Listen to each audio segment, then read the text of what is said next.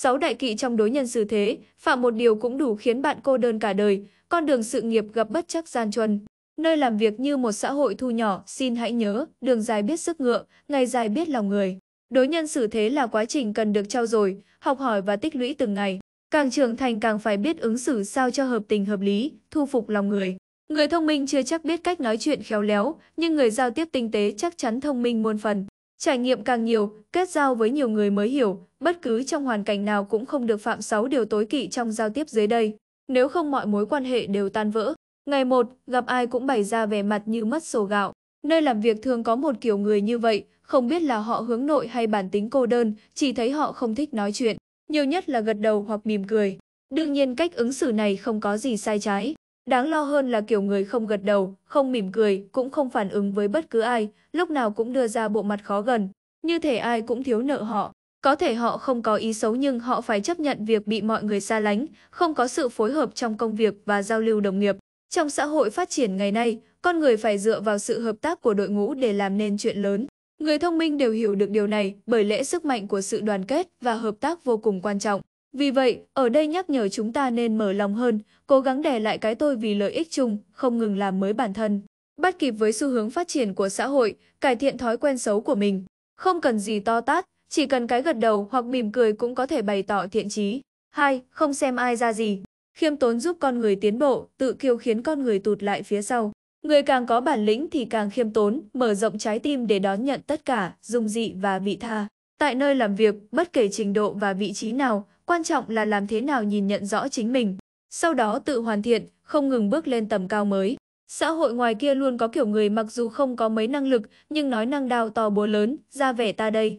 Nhưng thực chất chỉ là thùng rỗng kêu to. Nếu bạn không suy nghĩ sâu sắc về bản thân, kết quả là tự lừa dối chính mình, kiêu căng ắt thất bại. Ngày 3, xem người khác là kẻ ngốc. Người khôn lỏi cho người khác, ấn tượng đầu tiên và trực quan nhất là thích chiếm phần lợi về mình, bất kể lớn, nhỏ hay phi vật chất, ngay cả nói chuyện cũng phải thể hiện sự hơn thua. Kiểu người này thường làm tổn hại đến lợi ích của người khác, thậm chí không từ mọi thủ đoạn. Họ có thể tồn tại là nhờ vào ăn nói ngọt ngào, lấy lòng đối phương. Vì vậy, nơi làm việc như một xã hội thu nhỏ, xin hãy nhớ, đường dài biết sức ngựa, ngày dài biết lòng người. Ở đây cũng nhắc nhở chúng ta rằng, đừng nhầm lẫn giữa thông minh và khôn lỏi. Kẻ ngốc tuy khởi đầu chậm, nhưng chỉ cần kiên trì ắt thành công, người thông minh đi đường tắt, bốc đồng và dễ thất bại. Kẻ ngốc thường trung thực và ngây thơ, có thể chịu thiệt thòi, song có thể tạo dựng những mối quan hệ tốt. Những người quá thông minh vì lúc nào cũng đặt lợi ích lên hàng đầu nên kết quả cuối cùng chỉ có thể là hư vinh tan thành mây khói. Ngày 4, chỉ biết nghĩ cho bản thân. Con người khó lòng buông bỏ được tham vọng, muốn chiếm hữu cả vật chất lẫn tinh thần. Ở môi trường công sở, luôn có những người chỉ biết nghĩ cho bản thân, quyền lợi của mình là nhất, còn người khác không quan trọng. Đương nhiên, người không thương mình thì trời chu đất diệt không sai. Nhưng nếu tham lam vô độ, không có chừng mực thì ắt tai họa ập đến.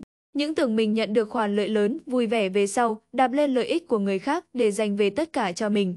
Nhưng đây là hành vi gây tổn phước lành, hại người hại mình. Sự thật in chứng, trong môi trường tập thể, người chỉ nghĩ cho bản thân sẽ dần bị xa lánh, mất đi cơ hội. Đường đời và sự nghiệp không suôn sẻ. 5. Xem trọng hư vinh và thể diện. Hẳn rằng, bạn cũng biết nhiều người sống theo phương châm, dù chuyện gì xảy ra cũng phải giữ được trọn vẹn thể diện. Hư vinh phù phiếm là biểu hiện khoa trương và bóp méo của lòng tự trọng. Song để sống cho thật hãnh diện, mặt mũi là cần thiết, nhưng không nên quá khắt khe, giữ sự chừng mực. Vật cực tất phản, cái gì cũng phải có giới hạn. Xem trọng thể diện là điều vô ích nhất trên thế giới này vì nó cản trở chúng ta tiếp nhận nhiều cơ hội. Các mối quan hệ cũng tan vỡ chỉ vì cái tôi của đôi bên quá lớn. 6. Nói năng lung tung. Người xưa thường nói, nói chuyện cần giữ lại ba phần ý tứ, không nên nói thẳng thừng, bóc trần tâm can. Họa từ miệng mà ra, bệnh cũng từ miệng mà ra. Lời này khuyên chúng ta phải cẩn thận lời nói và hành động.